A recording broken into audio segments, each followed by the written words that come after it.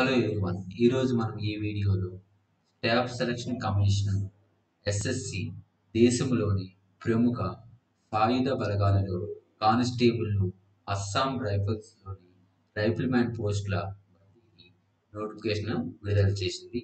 అయితే general duty cadre కింద మొత్తం ఇరవై ఐదు వేల రెండు వందల ఖాళీలు ప్రకటించారనమాట అయితే మనం దీనికోసం మనం డిస్కస్ చేసుకుందాం. ఇప్పుడు మనం గమనించినట్లయితే గమనించినట్లయితే మనకి ఈ ఏం చెప్పానమ్మా ఎన్ని పోస్టులు అనమ్మా అని చెప్పానమ్మా ఇరవై ఐదు వేల రెండు వందల డెబ్బై ఒకటి పోస్టులు అనమాట ఈ పోస్టులకి ఎవరెవరు అప్లై చేసుకోవచ్చు? పురుషులు అప్లై చేసుకోవచ్చు అదేవిధంగా మహిళలు కూడా అప్లై చేసుకోవచ్చు. అయితే మనం ఫోర్స్ చూడమ్మా ఫోర్స్. బిఎస్ఎఫ్లో అయితే మనకి ఎన్ని ఉన్నాయంటే ఖాళీలు? ఆరు వేల నాలుగు వందల పదమూడు ఖాళీలు ఉన్నాయి. మహిళలకి అయితే వెయ్యి నూట ముప్పై రెండు ఖాళీలు ఉన్నాయన్నమాట. అదేవిధంగా సిఐఎస్ఎఫ్లో చూసుకుంటే ఏడు వేల ఆరు వందల పది ఖాళీలు పురుషులకు ఉన్నాయి. అదేవిధంగా ఎనిమిది వందల యాభై నాలుగు ఖాళీలు మహిళలకు ఉన్నాయి. అదేవిధంగా ఐటీబీపీ చూసుకుంటే పన్నెండు వందల పదహారు పురుషులకు ఉన్నాయి.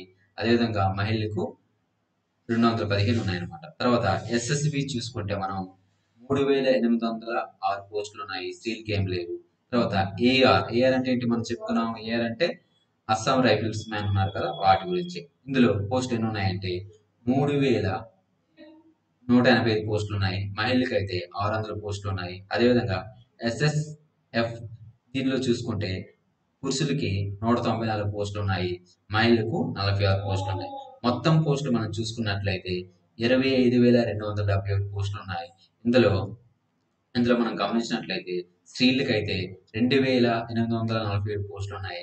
పురుషులకైతే ఇరవై రెండు వేల నాలుగు వందల ఇరవై నాలుగు పోస్టులు ఉన్నాయన్నమాట. అయితే అర్హత ఏంటి? ఈ ఇరవై ఐదు వేల రెండు వందల డెబ్బై పోస్టులు ఉన్నాయి కదా ఈ పోస్టులకి అర్హత ఏంటి మనం చూసుకున్నట్లయితే గుర్తింపు పొందిన బోర్డు లేదా పాఠశాల నుంచి పదవ తరగతి లేదా మెట్రిక్యులేషన్ ఉత్తీర్ణులై ఉంటారన్నమాట. సింపుల్గా చెప్పాలంటే పదవ తరగతి పాస్ అయ్యి ఉంటారన్నమాట అదేవిధంగా ఆ అభ్యర్థుల యొక్క డేట్ ఆఫ్ బర్త్ ఏ విధంగా ఉండాలి. ఆగస్టు ఒకటి నాటికి పద్దెనిమిది. అదేవిధంగా పద్దెనిమిది నుంచి ఇరవై మూడేళ్ళ మధ్యలో ఏజ్ ఉండాలి. అంటే ఎవరు అప్లై చేస్తున్నారో వాళ్ళ యొక్క ఏజ్ అనేది ఆగస్టు ఒకటి నాటికి పద్దెనిమిది నుంచి ఇరవై మూడు సంవత్సరాల మధ్యలో ఉండాలి. ఎంతమ్మా? ఆగస్టు ఒకటో తేదీకి పద్దెనిమిది నుంచి ఇరవై మూడు సంవత్సరాల మధ్యలో ఉండాలి. తర్వాత చూడండి పంతొమ్మిది వందల తొంభై ఎనిమిది ఆగస్ట్ టూకి అంటే ఆగస్ట్ రెండుకు ముందు అదేవిధంగా రెండు వేల మూడు ఆగస్ట్ తర్వాత ఉంటే వాళ్ళు ఈ ఇరవై ఐదు వేల రెండు వందల డెబ్బై ఒకటి పోస్టులకి అనర్హులు. అంటే ఏంటి? చూడండి పంతొమ్మిది వందల తొంభై ఎనిమిది మనం గమనించినట్లు ఎక్కడైతే పంతొమ్మిది వందల తొంభై ఎనిమిది ఆగస్ట్ రెండు ముందు అదేవిధంగా రెండు వేల మూడు ఆగస్ట్ ఒకటి తర్వాత ఉంటే వాళ్ళ యొక్క ఏజ్ అనేది పద్దెనిమిది నుంచి ఇరవై మూడేళ్ళు ఉండదు కాబట్టి అందువల్ల ఏంటమ్మా అంటే పద్దెనిమిది సంవత్సరాలు దాటవు కాబట్టి ఏమవుతుంది? ఏం జరుగుతుందంటే పద్దెనిమిది నుంచి ఇరవై మూడు సంవత్సరాలు ఉండవు కాబట్టి వాళ్ళేమో అనర్హులుగా ప్రకటించబడుతుంది. అదేవిధంగా రిజర్వేషన్ బట్టి ప్రభుత్వ నిబంధనల మేరకు వయో పరిమితిలో ఏముంది సడలింపులు అనేవి ఉంటాయి. సడలింపు అనేటి వన్ ఇయర్ టూ ఇయర్స్ ఇలా ఉంటాయి అన్నమాట రిజర్వేషన్స్. రిజర్వేషన్ ఏంటి? ఎస్సీ ఎస్టీ ఓబీసీల రిజర్వేషన్ ఉంటాయి కదా. ఆ రిజర్వేషన్ ప్రకారము ప్రభుత్వ నిబంధనల మేరకు వయో పరిమితులు కూడా సడలింపులు అనేవి మనకి ఉంటాయి అన్నమాట అయితే ఇప్పుడు అంటే మెయిన్ మాత్రం మనకి ఏంటమ్మా ఏజ్ అనేది? పద్దెనిమిది సంవత్సరాల నుంచి ఇరవై మూడు సంవత్సరాలు ఉండాలి. టెన్త్ క్లాస్ అనేది పాస్ అవ్వాలి. టెన్త్ క్లాస్ పాస్ అవ్వాలి. అదేవిధంగా మనకి పద్దెనిమిది నుంచి ఇరవై మూడు సంవత్సరాల మధ్యలో మన ఏజ్ అనేది ఉండాలి. ఎప్పటికి ఉండాలమ్మా? ఆగస్టు ఒకటి నాటికి ఉండాలి. అది ఇంపార్టెంట్ అయితే ఎవరైనా ఎన్సీసీ సర్టిఫికేట్స్ ఉన్నాయనుకోండి వాళ్ళకి ఫైవ్ మార్క్స్ ఏ సర్టిఫికేట్ ఉంటే? సి సర్టిఫికేట్ ఉంటే. అదేవిధంగా బి సర్టిఫికేట్ ఉంటే త్రీ మార్క్స్ ఏ సర్టిఫికేట్ ఉంటే టూ మార్క్స్ అనేవి వాళ్ళకి లభిస్తాయి. అంటే ఎగ్జామ్లో వాళ్ళకి మార్క్స్ అనేవి యాడ్ అవుతాయి. సి అంటే ఫైవ్ బి అంటే త్రీ ఏ అంటే రెండు అనమాట నెక్స్ట్ సిబి సిబిఈ అంటే ఏంటి? కంప్యూటర్ బేస్డ్ ఎగ్జామినేషన్ ఓకేనా? ఇప్పుడు దీన్ని ఎవరు కండక్ట్ చేస్తున్నారమ్మా? స్టాఫ్ సెలక్షన్ కమిషన్ అనేది దీన్ని అంటే ఎస్ఎస్సి అనేది మనకి ఎగ్జామ్ని కండక్ట్ చేసింది. ఈ ఎగ్జామ్ ప్యాటర్న్లో మొత్తము అన్రైట్ మల్టిపుల్ చాయిస్ క్వశ్చన్స్ ఉంటాయి. ఇవి కూడా టెన్త్ లెవెల్లో ఉంటాయి. ఇందులో మనం చూసుకున్నట్లయితే జనరల్ ఇంటెలిజెన్స్ అండ్ రీజనింగ్ అదేవిధంగా general knowledge and general awareness elementary mathematics English లేదా హిందీ లాంగ్వేజ్ సంబంధించి ఒక్కొక్క దానికి ట్వంటీ ఫైవ్ మార్క్స్ అనేవి ఉంటాయి అనమాట ఏమి ఉంటాయమ్మా?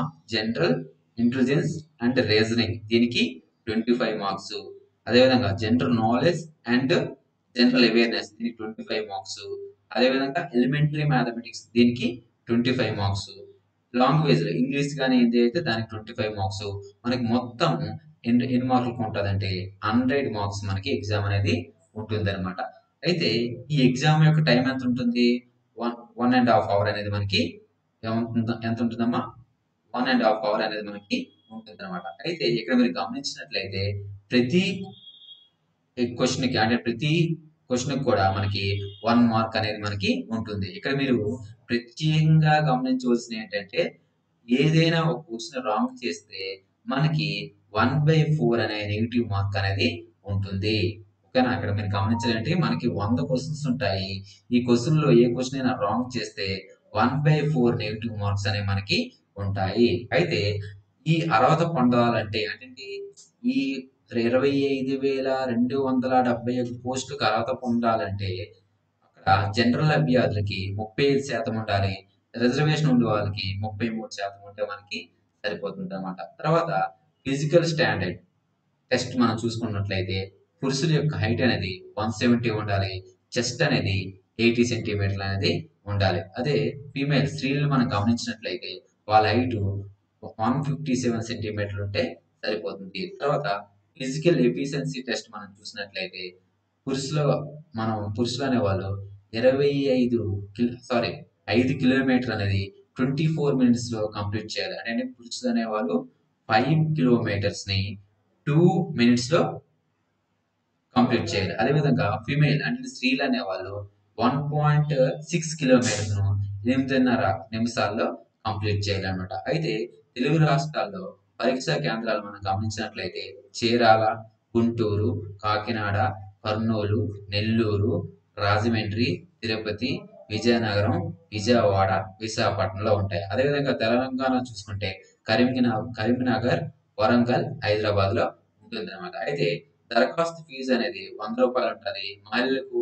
మాజీ సైనికులకు అదేవిధంగా ఎస్సీ ఎస్టీ అభ్యర్థులకు ఫీజు అనేది మినహాయింపు అనేది మనకి ఉంటుంది అనమాట అయితే ఆన్లైన్ అప్లికేషన్ అనేది ఎప్పుడు స్టార్ట్ అవుతుందంటే జూలై పదిహేను నుంచి స్టార్ట్ అవుతుంది.